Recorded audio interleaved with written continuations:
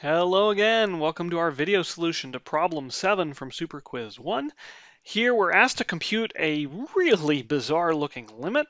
Uh, whew, wow, we have an integral on top, 1 minus cosine. I mean, that's not horrible on the bottom.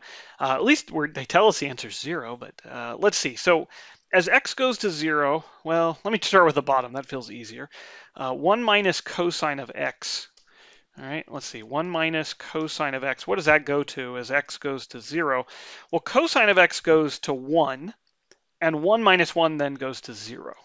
Okay, uh, what about the, uh, the numerator? Oh my goodness. So you have an integral, uh, t goes from 0 to x, and then you have, oh wow, look at this monstrosity, e to the t squared minus 1 dt.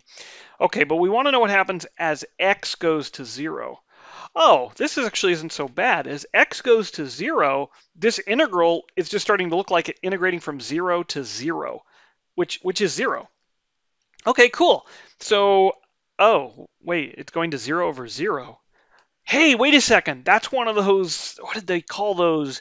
Indeterminate forms from Calc 1? Yeah, that's where I can use that really neat theorem, right? The hospital theorem, right? L'Hopital's rule. So if we use L'Hopital's rule, this is the same thing as taking the limit as x goes to 0 of, well, I take the derivative top and bottom. So take the derivative with respect to x. Okay, and, and that, that I, that's complicated enough, I write it down. On the bottom, I'm also taking the derivative, but this should be pretty easy.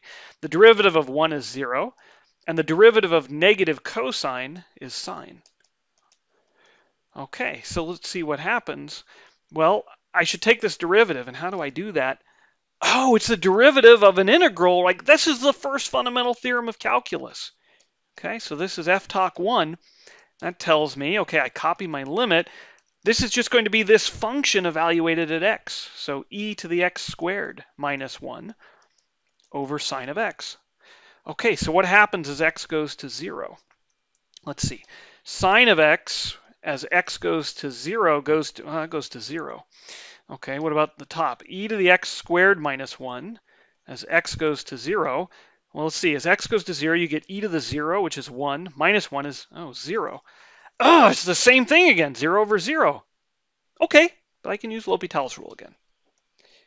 So, x goes to 0. Now I take a derivative. Derivative of e to the x squared is going to be Okay, chain rule time, 2x times e to the x squared.